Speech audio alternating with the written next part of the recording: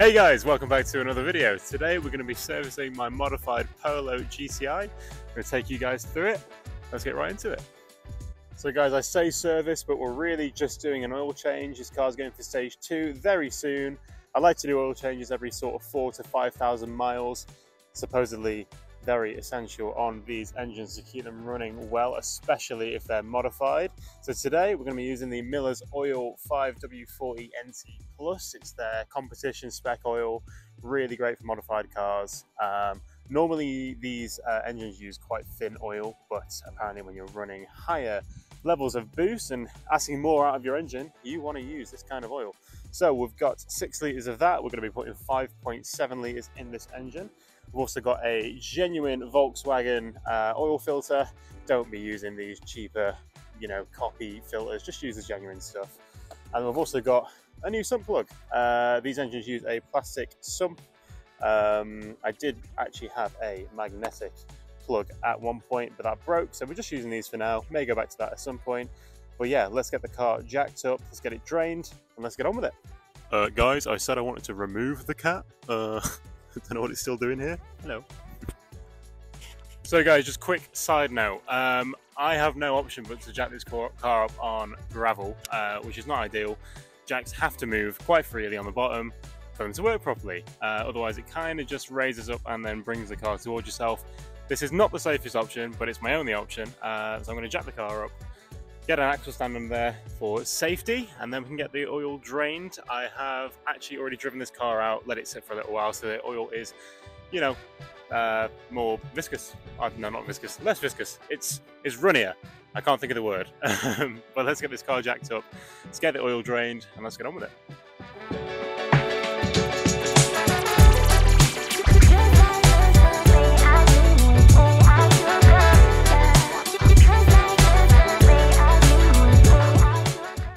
Guys, I've jacked the car up just enough for me to get underneath. Uh, what we're going to do now is take off the engine cover and the oil cap, drain the oil from underneath the car, um, let it drain out fully, and we can plug it back up and fill it up with the good stuff.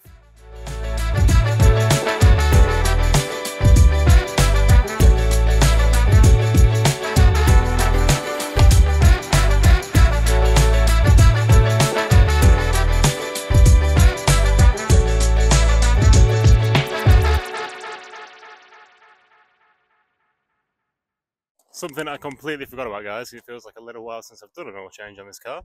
You want to take your oil filter out now at this point while it's draining. Um, it allows a little bit more oil to kind of escape from this housing. Um, yeah, you're going to want a 32 millimeter socket. Sits right on the top there. Um, so yeah, I'll get that out now.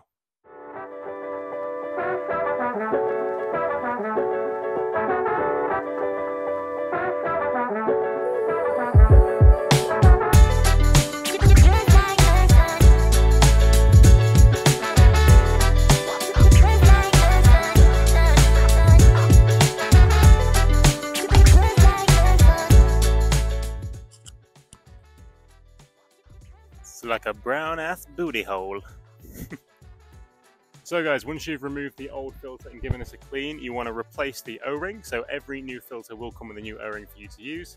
You pop that on in the exact same spot, but you use some fresh oil to lube it up first. It helps with its sealing. Don't use the old stuff. Uh, you want to pop it back in the car after and then torque it up to spec, but I'll show you that just after.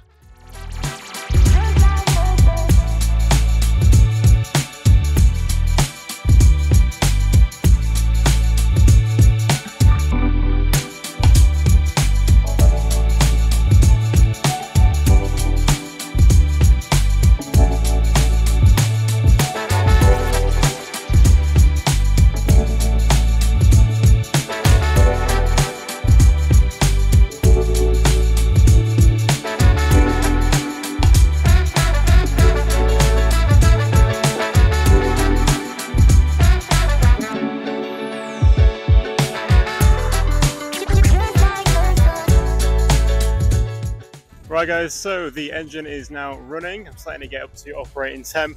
Uh, then I'm to shut it off, let it sit for about five, check the dipstick, top up if needed. If not, I'm all good to go. Guys, it even sounds healthier. And ticky as shit, because these engines sound like crap. So guys, that concludes today's video. Thank you so much for watching me do an oil change on my Polo GTI. If you found the uh, video useful at all, please give it a like and subscribe to the channel because there's plenty more content coming on this car and other things too. Uh, as I mentioned, the car is going to stage two very shortly in about a month's time, so an oil change was much needed. Honestly, guys, it's taken me about an hour to do an oil change plus filming today. Um, so if you're scared of doing an oil change, give it a go. Honestly, you can save a load of money. I think it's quite therapeutic personally. Um, and yeah, obviously, it'll keep your engine running great for a long time. Uh, but yeah, thank you so much for watching. And until next time, guys, have a great time. My name's Ed, and this is Passion for Petrol.